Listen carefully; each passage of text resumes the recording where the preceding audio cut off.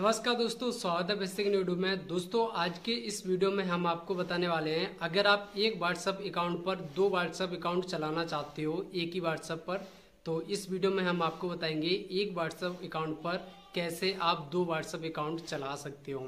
तो चलिए शुरू करते हैं। तो एक व्हाट्सअप पर दो व्हाट्सअप अकाउंट कैसे आप बना सकते हो तो इसके लिए देखिए, यहाँ पर मैं अपने व्हाट्सअप को ओपन कर लेता हूँ।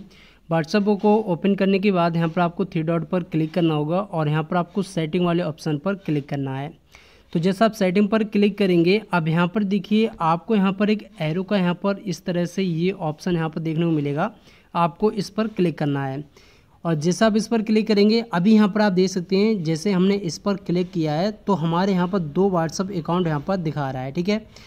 तो अगर हम दूसरा वाला व्हाट्सअप अकाउंट अगर चलाना चाहते हैं तो यहाँ पर हम दूसरे वाले पर क्लिक कर देंगे और हमारा दूसरा वाला व्हाट्सअप अकाउंट यहाँ पर ओपन हो जाएगा। तो आप यहाँ पर देख सकते हैं, हमारा दूसरा वाला यहाँ पर व्हाट्सअप अकाउंट ओपन हो चुका है, ठीक है? तो इस तरह से आप यहाँ पर अपने मोबाइल में दो व्हाट्सअप चला सकते हो, एक ही व्हाट्सअप पर, ठीक है?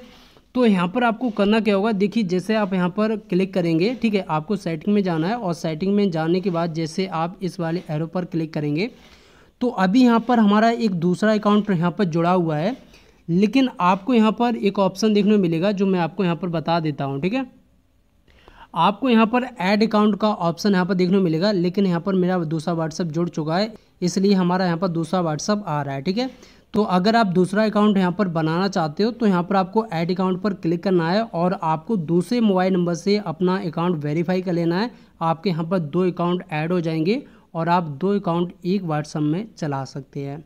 तो इस तरह से दोस्तों, आप एक व्हाट्सअप में अपने दो अकाउंट को चला सकते हो।